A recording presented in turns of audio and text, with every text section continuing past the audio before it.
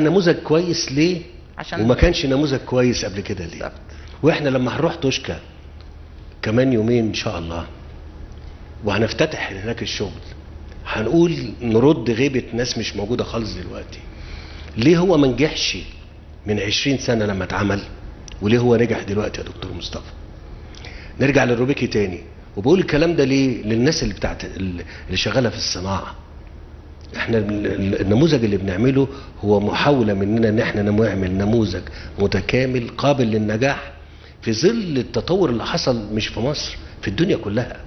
لأن في ناس هتبقى هيجي ياخد منك منتج ويقول لك أنا عايز أطمن الاشتراطات ال- الاشتراطات البيئية بتاعتك مظبوط. أنت عامل فيها إيه؟ يعني في كلام كتير هيتعمل وبالتالي ممكن البضائع دي تبقى كويسة لكن تبقى يصعب نفاذها في الأسواق الخارجية. على كل حال أنا قصدت بحاجتين أتكلم فيهم هنا. لما اتكلمت عن روبيكي على إنه تجربته ما نجحتش إلا لما الدولة دخلت وقعدت تح... أنا نسيت أقول إن جه ال- المهندس طارق قال لي مش قادرين ننقل الناس. قلت له طب أنت عايز إيه؟ قال لي أنقلهم على حسابنا. دكتور مصطفى قال لي آه صح. أنقلهم على حسابنا. قلت له يعني عايز كام؟ قال لي 65 70 100 مليون جنيه. قلت له حاضر ننقلهم على حسابنا.